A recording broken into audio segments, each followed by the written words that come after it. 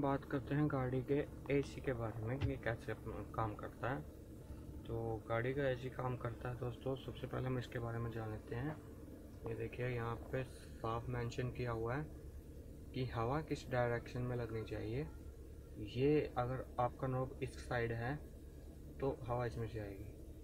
अगर आपका नोब इस साइड पोजीशन में है, इस पोजीशन में है तो हवा यहाँ से भी आएगी और नीचे से भी आएगी, नीचे यहाँ से, यहाँ पे होता है हवा वेंटिलेटर का। यहाँ से आएगी।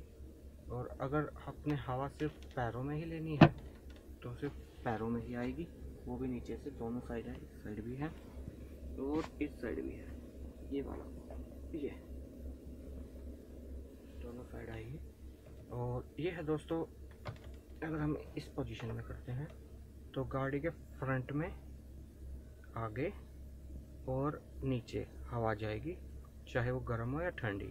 और ये है दोस्तों, अगर कभी बारिश हो रही है या फॉग हो रहा हो आपकी विल्ड स्क्रीन पे तो ये हवा वहाँ पे लगेगी विल्ड स्क्रीन पे, ये रहा। ये रहे दोस्तों, हवा के जो हवा वेंटिलेटर होता है वो। तो ठीक है तो इसके बारे में आपको पता चल गया ये इक्कीस लिए होता है नोट ये है दोस्तों, हवा कितनी तेज चाहिए आपको? ये कम, ज़्यादा, ये और ज़्यादा। ये इसके लिए। दोस्तों, अगर इसको हम, ये है टेम्परेचर के बारे में।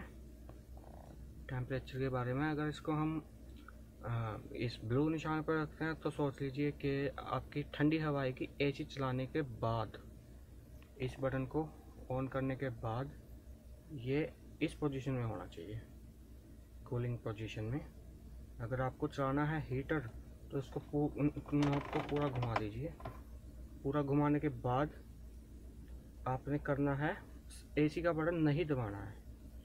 रेड पे करने के बाद एसी का बटन नहीं दबाना है सिर्फ़ ब्लोअर चलाना है, इससे गर्म हवा आएगी। अगर आपकी गाड़ी में हीटर लगा हुआ है तो। एसी को बिल्कुल भी नहीं दबाना। हीटर वाली पोजीशन में। ये हीटर पोजीशन में है रेड पे। इस बटन को नहीं दबाना, सिर्फ़ आपने हवा चालू करनी है, इससे गर्म हवा आनी शुरू हो जाएगी। तो अब गर्मियों का मौसम है तो मैं इसको ब्लू पे कर देता हूँ। तो ये है दोस्तों, ये वाला जो वेल्व है, ये बाहर की हवा के लिए है। अब ये देखिए, इसमें मैंशन किया हुआ है कि ये अंदर की हवा अंदर ही रखेगा। अगर कुछ कारण वर्ष आपको बाहर की हवा चाहिए तो इसको ऐसे अप्लाई कर दीजिए। अब बाहर की हवा आनी शुरू हो जाएगी। गाड़ी चलाते वक्त।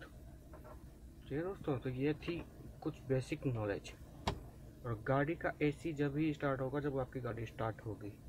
अदरवाइज़ नहीं होगा। अदरवाइज़ आपका ब्लोअर ही काम करेगा। ओके दोस्तों तो प्लीज़ मेरे चैनल को सब्सक्राइब कीजिएगा। Thank you